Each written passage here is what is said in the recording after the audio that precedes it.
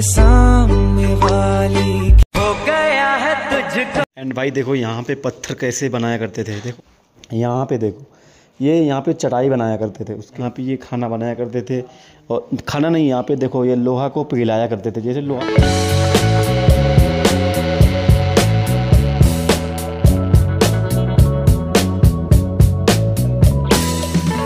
Good morning and welcome back the चलन तो कैसे हैं आप सभी लोग? स्वागत है आपका नए ट्रिपलिंग ब्लॉग में। सो गाइस आज हैं हम दीमापुर में, जो कि कल आ गए थे। यहाँ पे रात की पूरी मार्केट एक्सप्लोर की वो आपको वीडियो देखने को मिल जाएगा, जो कि यूट्यूब पर। एंड आज जा रहे हैं नागालैंड की कैपिटल सिटी जो कि कोहिमा यहाँ से लगभग पड़ती है सौ किलोमीटर के दायरे में। एंड आज वहाँ का वीडियो होने वाला है। आपने देखा पीछे वीडियो में, जो कि दीमापुर का वीडियो था। एंड यहाँ का लोकेशन कुछ इस तरह का प्यारा है। ये है रेलवे स्टेशन और ये है बस स्टैंड और यहाँ से अभी हम निकल के जा रहे हैं सीधे कोहिमा के लिए। चलो भाई, चलते हैं। हेलो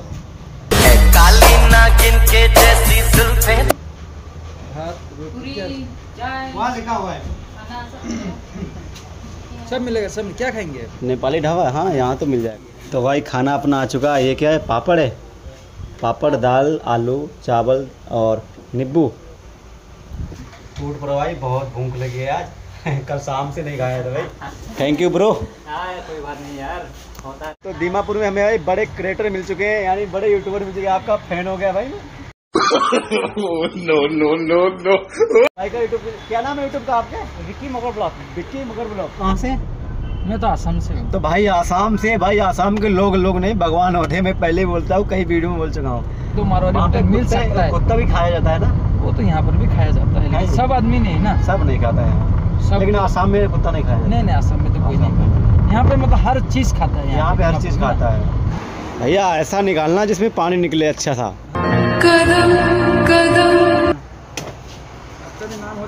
देखो भाई ये कलाकारी होती है नारियल काटने की। ये दिल तेरा दीवार ये ले लो सही रहेगा। हाँ ये जहाँ भी जाओ ना कोल्ड ड्रिंक और ये ड्रिंक वगैरह मत पीना क्योंकि उससे हमारा लीवर डैम डैमेज है और लस्सी पियो तो आपको ना जो जो उससे मज़बूत होने में ताकत मिलेगी। एंड हम लस्सी लेंगे और ये मुझे अच्छी लगती है। अंडा अंडा। नहीं अंडा नहीं। वेजिटेरियन है।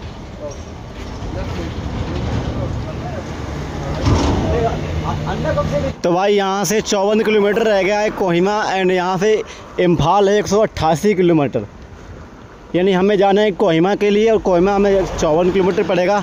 और आज पहुँचने वाले हैं कोहिमा। पहुँच जाएँगे दो तीन घंटे में। सो चलो देखते हैं कहाँ तक पहुँचते हैं आज। उसके बाद चलते हैं।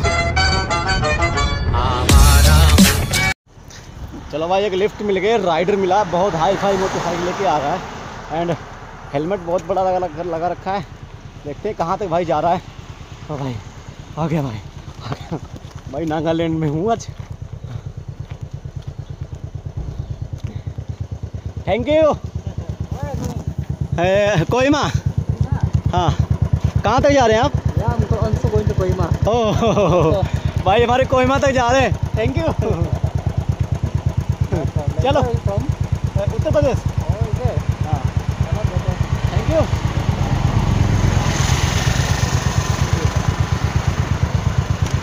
फ़ोटो होगा ना? हाँ चलो थैंक यू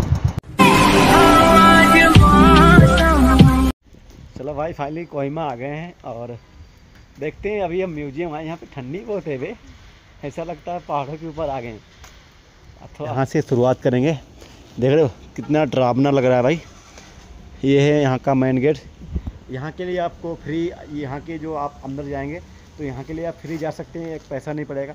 बट अंदर जो है, अंदर म्यूज़ियम, वहाँ के लिए आपको सिक्सटी रुपये देने पड़ेंगे फ़ोटो लेके फ़ोटो और एंट्री करने के लिए। चलो, यहाँ से शुरुआत करते हैं। भाई ये है हमारे नांगा बामों का जो नागालैंड में जो, सभ्यता थी वो इस टाइप की है कुछ। यहाँ पे म्यूज़ियम है एंड आप लोग यहाँ पे आएँगे तो इनका पूरा जैसे यहाँ शिकार किया करते कैसे इनका रहन सहन था वो सब कुछ यहाँ पे देखने को मिलेगा। यहाँ पे देखो इनका ये फ़ोटो लगा जैसे कपड़े भी नहीं पहने और उसके बाद आगे जाओगे देखो हाथ में तलवार है और उसके बाद यहाँ देखो। एंड आपको मैं इधर दिखा रहा हूँ, ऐसे यहाँ के जो पहले की जो सभ्यता थी, वो ऐसी थी।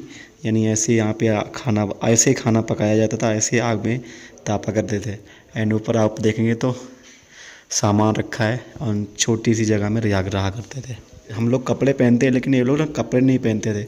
ऊपर की जो ये चादर बना लेते थे, जो कि लकड़ी का, और उसके बाद देखो ऐसे ही शिकार किया करते थे। पीछे लकड़ी का रहता था और खोपड़ी पे रखते थे और ये इनका घर था, छोटा सा देखो ऐसे रहा करते थे, लकड़ी के घर बना के। बाद आप इधर आ जाओगे तो ऐसे यहाँ पे देखो ये बिना करते थे, जैसे रहने के लिए जो चटाइयाँ होती हैं। उसके बाद आगे ले जाना चाहते हैं। आगे देखो ऐसे यहाँ पे घर इनका जो खाना बनता था, ठीक है? यहाँ पे देखो ऐसे खाना बनता था और ये लोग कपड़े भी नहीं पहनते थे। लेडीज़ हैं एंड यहाँ पे आप देखोगे तो इनका पूरा नक्शा बना हुआ है। उसके बाद आगे आओगे तो यहाँ पे देखो ये शिकार किया करते थे। एंड भाई यहाँ पे ना जो म्यूज़ियम है ना वो रहस्यों से भरा पड़ा है। एंड देखो यहाँ पे कितना यहाँ पे ना पुरानी जो म्यूज़ियम है म्यूज़ियम में जो पुरानी चीज़ें होती हैं वही यहाँ पे अब दिखाई जाती हैं। मेरे सामने वाली खिड़की। ऐसे ये यहाँ पे जो यहाँ पे ना ऐसे शिकार किया करते थे।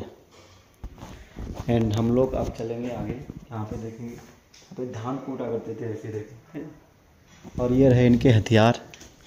ये हथियार थे इनके, जैसे तलवार हो गई है चक्कू जो पुराने हथियार हैं। और ये क्या है? ओ भाई कमान। ये पुराने हथियार में तलवार देखो भाई, इतनी बड़ी।